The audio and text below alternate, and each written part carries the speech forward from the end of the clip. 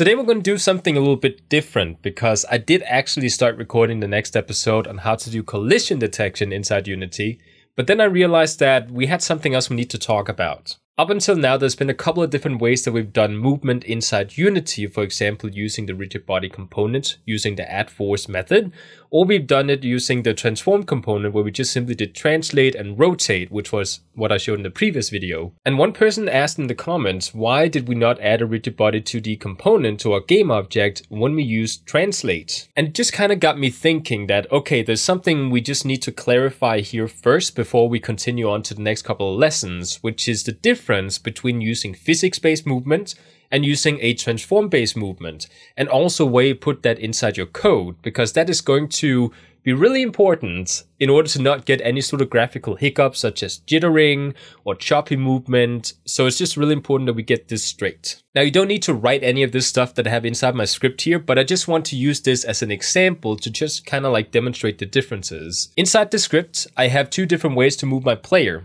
I can either use a rigid body based movement, which is using the physics engine inside Unity, or I can do it using the transform movement, which is just me hard coding movement into my player. These two different ways of doing things are completely different because one is using the rigid body, which is the component we add inside Unity on one of our game objects whenever we want the physics engine to just kind of like take over and decide how the physics is going to function on our player inside the game. And of course, we can always change how it actually does things inside the rigid body component. But essentially, when you add a rigid body component onto a game object, the physics engine is just kind of like taken over. However, whenever we do any sort of transform based movement inside our code, we actually go directly inside the transform up here and manipulate these numbers up here instead of doing it using the rigid body physics component. And the reason this is very important to talk about is because if I do add a rigid body component onto a game object like I've done here, and I start doing movement inside my code that is transform based,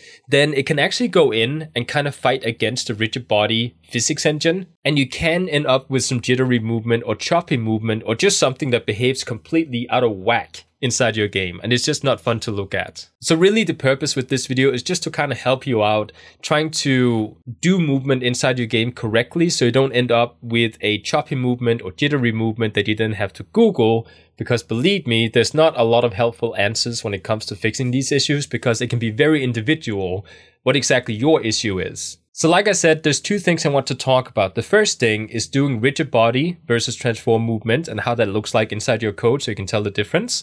And I do also want to talk about using update and fixed update for movement. The first thing you'll notice is that I did actually categorize my code with a little comment saying this is for using rigid body and this is for using the transform. So you actually can tell the difference between the code that I have in here. Really, the key thing here is for you to know that whenever we use rigid body for movement, we do actually need to grab the rigid body component inside the start method just so that's said, because that's relevant for later. Then at the bottom here, I just simply went in and created two different methods, one for moving my player using the transform, which is not physics based, and then I created one for using it using the rigid body component, which is physics based, at least related to the physics engine inside Unity. The way you can tell the difference between using a rigid body or a transform based method inside your code is that it's going to have transform dot something, for example, transform dot translate or transform dot rotate, then it is not something that is actually affecting the physics component, which is the rigid body component inside your game object. This is just going to move your player using the transform. But if you have some code that says rigid body dot something, which is the rigid body component we grabbed inside the start method, then it is a physics based method that you're using for example, rigid body dot velocity or rigid body dot add force. These are methods that are going to be rigid body based, which means that it does actually go in and uses the built-in physics engine inside Unity. And then the question is, when do you use which one? It really depends on how you want your game to feel like, because in some cases you might want to, let's say I have a very basic platform inside my game that just moves side to side, you know, just, you know, every second or so, so the player can jump on it and then you can move with the platform. Then probably you're not going to use physics-based movement for that one, because it's just very basic movement. It's not going to do anything special. But for example, for a player, you could actually go in and say, well, I want the, the physics engine to just kind of like take over and create some very quick and very smooth physics on my player that I'm then going to manipulate a little bit to get the feeling that I want. And that's totally fine. But it is actually also possible using your own code to actually create physics for your player if you want to hard code it in that way. A lot of people like to do that because it sort of gives you more control over creating specific physics for your player so you have like 100% control over it. But like I said again, it really depends on what kind of game that you want to make. Like if you want to just rely on the physics engine, which I like to do in a lot of cases, then you can do that. But if you want to hard code in some sort of movement, which I like to do when it comes to 3D games, at least when it comes to the player in 3D games, because it, it sort of avoids the, the whole thing about looking around and then things getting choppy because the camera can't follow correctly because of the physics and there's just some stuff that you can avoid using 3D. But really, you just gotta ask yourself, do you want to use a rigid body component to create physics? If so, then probably inside your code, you should be using physics to move around your player which means rigid body.velocity or rigid body.add force or rigid body.move position or rigid body.move rotation. There's a couple of different methods you can use using rigid body as well as using transform. So you really got to ask yourself, what, what do you want to do? What do you want to do here? Really, the important thing to note is not to mix transform and rigid body based movement together, because like I said, and create choppy movements. I had an example where I was creating something at some point where I needed a enemy to follow my player and I did actually have the enemy follow my player using a transform based movement. Everything about the, the enemy was transform based, but I did still add a rigid body component onto the enemy because when I hit the enemy with a bullet, I wanted the enemy to just sort of fall backwards and then after half a second then continue to follow the player. But because I had a rigid body component onto that enemy, for some reason after I hit the enemy, it would start getting super choppy in its movement, and I didn't understand why.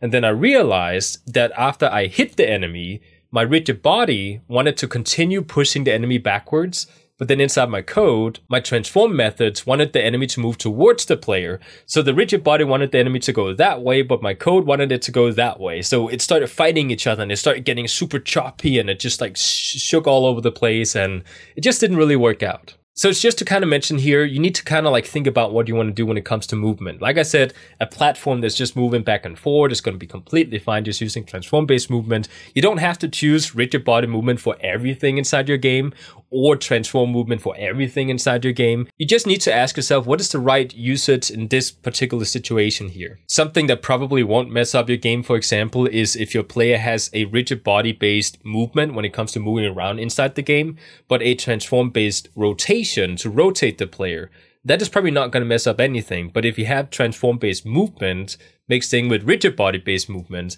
then it's going to start fighting each other. The next thing I want to talk about is update versus fixed update and what goes into which one. Now, it is a rule of thumb that whenever you do anything physics based inside your game using code, it has to go inside fixed update. And that's because fixed update is going to update together with the physics engine inside Unity, which means that you do get the, the proper physics that you want to have inside your game. In this case here, it would mean that if I were to do any sort of rigid body based movement, for example, rigid body velocity or add force or move position or anything like that, then I do need to take that method and put it inside fixed update, which is up here.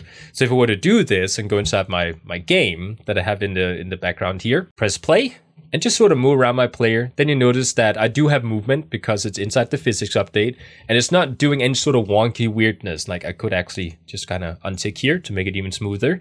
For some reason, I don't know why Unity keeps doing this, but whenever you have the inspector open with a lot of stats in it, it just makes the, the game more choppy. So that is also a fix, by the way. If you get choppy movement, try unselecting the inspector because that might make it smoother. Um, but if I were to go inside my code again and say, oh, I want to do transform based movements, then I need to put it inside update. And that's because transform, like I said, is not part of the physics engine. So in this case here, it would have to go inside update, but do remember that you add time dot delta time inside the movement.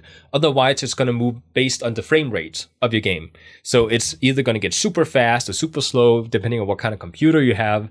Uh, so by doing this and then going in and, and pressing play, you can see that we can actually move around using transform instead. It's the exact same movement, but using two different methods. However, there's also other things to kind of look out for because I do also, in some cases, might want to update some of my fields up here, you know, during runtime. So as I'm running the game, I might want to change the movement speed or something. Let's say my player gets a power up and I want to change how fast my, my player can actually move then I would actually update that inside my update method because the update method gets run, I wouldn't say faster than fixed update because you can actually change fixed update to run at different rates. You can actually go inside Unity and inside the settings and tell it how often to update the physics-based movement. So it can be faster or slower than your frame rate, depending on what you set it to. So really the rule of thumb here, whenever you want to change any sort of data inside your fields, then do it inside update because it, it usually gets updated pretty fast. Another thing to kind of watch out for is input movement because you will actually notice that in this case here using the rigid body movement,